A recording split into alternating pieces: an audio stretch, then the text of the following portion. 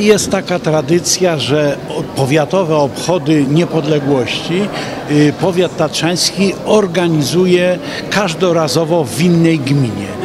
Y, W tym roku przypadło na gminę Bukowina Tatrzańska i stąd też nasza tutaj obecność. Natomiast jeżeli chodzi o młodzież tutaj zgromadzoną, to jest to związane y, z konkursem, który jest już po raz jedenasty organizowany. To są tak zwane podhalańskie i spiskie drogi do niepodległości. W tym roku również orawskie drogi do niepodległości. Ten konkurs jest organizowany przez radnego Rady Powiatu Tatrzańskiego, pana Zbigniewa Proszowskiego i praktycznie on y, rozszerzył się nie tylko na szkoły gminy, y, gmin powiatu tatrzańskiego, ale i również partnerskich powiatów. A więc są, jest tutaj młodzież z powiatu kartuskiego, z powiatu łowickiego, z powiatu świdnickiego. Y, Są równie, y, są, jest również młodzież z powiatu poznańskiego. To są powiaty zaprzyjaźnione z powiatem tatrzańskim, ale są i również y, przedstawiciele gmin zaprzyjaźnionych z gminami powiatu tatrzańskiego. Stąd też młodzież z Suchego Lasu, stąd, który jest zaprzyjaźniony z gminą Poronin, czy też z miasta Sopot, które ma partnerstwo z miastem Zakopane. Już po, roz, po raz jedenasty zmagają się tutaj i y, walczą o prymat y, no, zwycięstwa. Czyli można zaryzykować stwierdzenie, że jest to konkurs już rangi ogólnopolskiej. Tak można powiedzieć, tym bardziej, że ten konkurs y, otrzymał honorowy patronat prezydenta Rzeczypospolitej Polskiej, pana Andrzeja Dudy. Jaki jest cel, jakie jest przesłanie konkursu?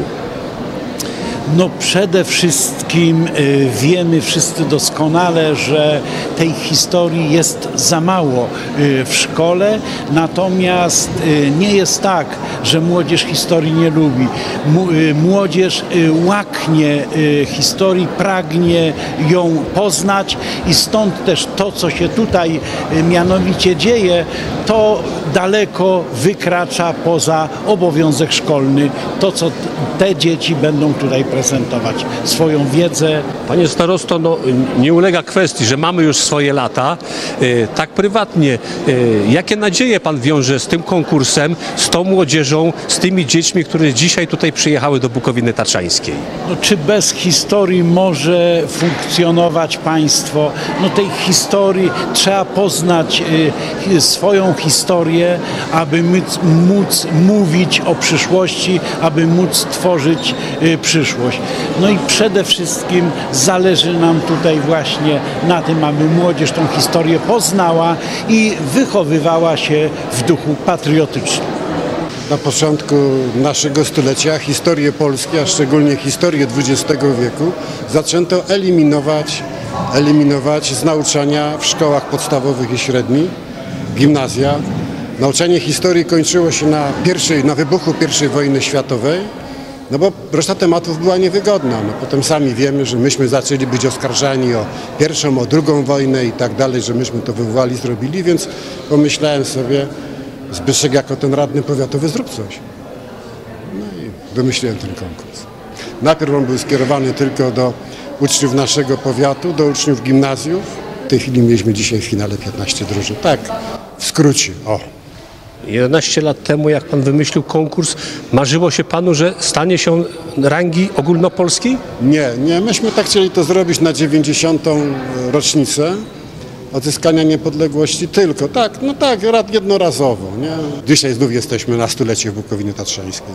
Kto jest autorem pytań? Bo tych pytań tutaj było 30, 15 wie- y, dla szkół ponadgimnazjalnych, 30, 15 dla szkół podstawowych, łącznie 30. No więc to, jest, to są nasze wspólne pytania. Autorem, autorami pytania głównie o tej pro, pro, problematyce spisko-orawskiej jest yy, profesor doktor habilitowany Jerzy Roszkowski, yy, pan Zbigniew Szeliga jest tej, ja z tej historii ogólnej. Jako pomysłodawcy i głównemu sprawcy tego konkursu, co się panu marzy na 101. rocznicę odzyskania niepodległości? No, żeby się ten znów konkurs odbył w podobnym składzie i żebyśmy tak się przy tej 101 e, rocznicy czuli, tak jak ta piąta niezakwalifikowana zwrotka naszego hymnu.